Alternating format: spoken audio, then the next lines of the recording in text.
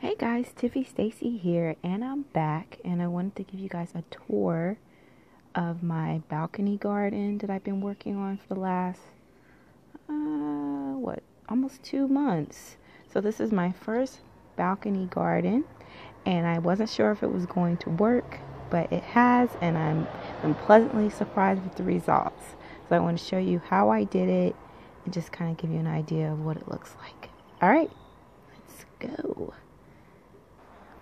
So I just finished watering it. Um, it's pretty small, but I didn't want to have a bunch of plants on my balcony because it's just trying to get them up the stairs. It's just annoying. So right here, this is my parsley. It's definitely flowering. Um, I have not had a chance to look this up of why this is going on, but this was parsley at some point. And to the right is my cilantro. My beautiful cilantro. Now, the way I planted these was I had a bag of um, garden soil and um, like manure, mixed them up. Um, they were plants at first, so I put them in the pot and just began to water them, made sure I kept up with any of the nutrients if it needed like some plant food or calcium um, and just let them grow. So this is the result with my cilantro. And as you can see here, I am so proud of this. These are my peppers. And as you can see, you can see a pepper plant. Look how big this thing is. This is amazing.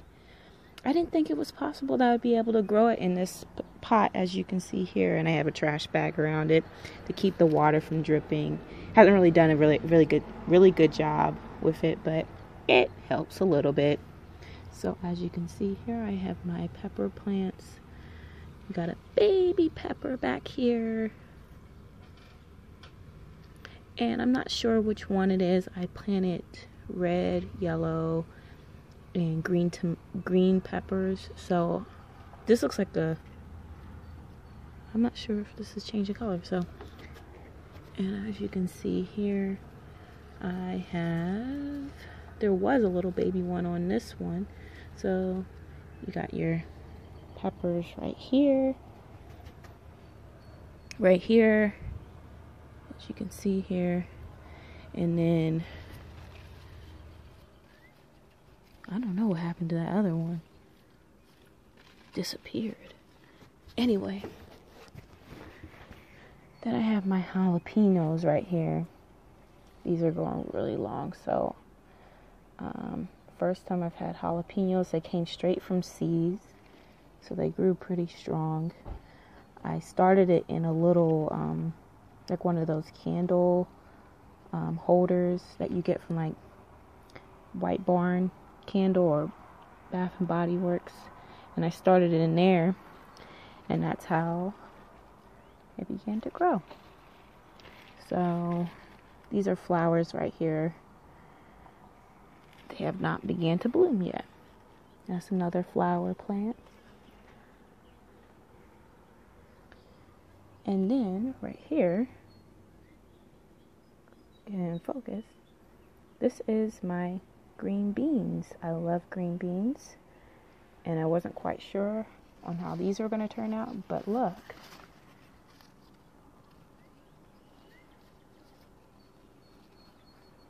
Oh my gosh, gorgeous, right?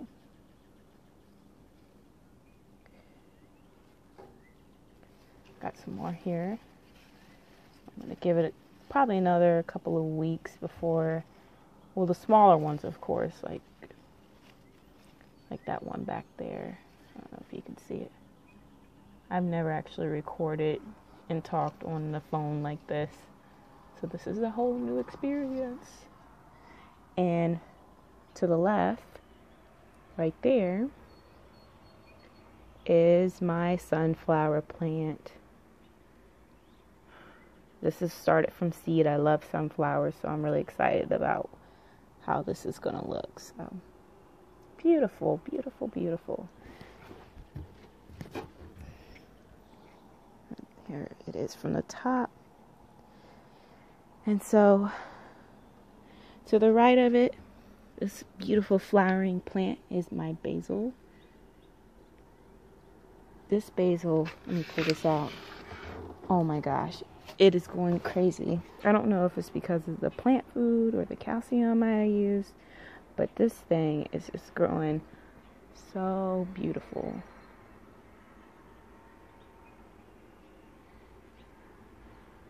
Yes. And I made um, pesto a few weeks ago from this particular plant, and it's super easy to make. All you need is like olive oil, like some pine nuts, and you mash it together and you get pesto. It's delicious. So, to the right of it is, of course, the beautiful tomato plant and this city picker plant or planter that I had put them in. This was about 20 bucks at Home Depot. I'm so glad I had um, used this thing because I was using one of these to plant my tomatoes and it was growing way too way too big for the pot so I ended up consolidating. I had four of them like that. I ended up consolidating them and putting them in this big city picker plant planter.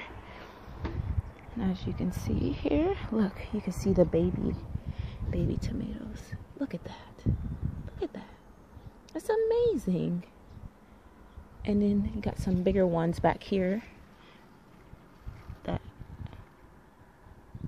want to give a couple more weeks before I plant them or before I pick them. And I'm thinking about making like some salsa with it. So I'm super excited. Super excited about these. Have to water them like about every other day. I can't water them too much because um, I run the risk of it dripping below down to my neighbor's place. So I'm trying to prevent that. But yeah, it's been fun. It's been definitely a, something I never thought I would do, but I'm very proud of it. So there you go. Hope you enjoyed this. So I hope you guys liked my beautiful balcony garden. I am so proud of it and am happy to share any tips or information about how I did it. So please feel free to comment in the comments and I'll definitely answer if you're curious on knowing on how I did that. But aside from that, please feel free to like, comment, and subscribe. Please share if this is something that you would love to share with um, your friends. Other than that, you can feel free to follow me on at Tiffy Stacey on Instagram or Facebook. I'm on there as well. So, other than that, I will see you guys sometime soon. I am going to enjoy this beautiful weather that we have. It's not too hot, not too cold. All right, I'll see you guys later. Bye.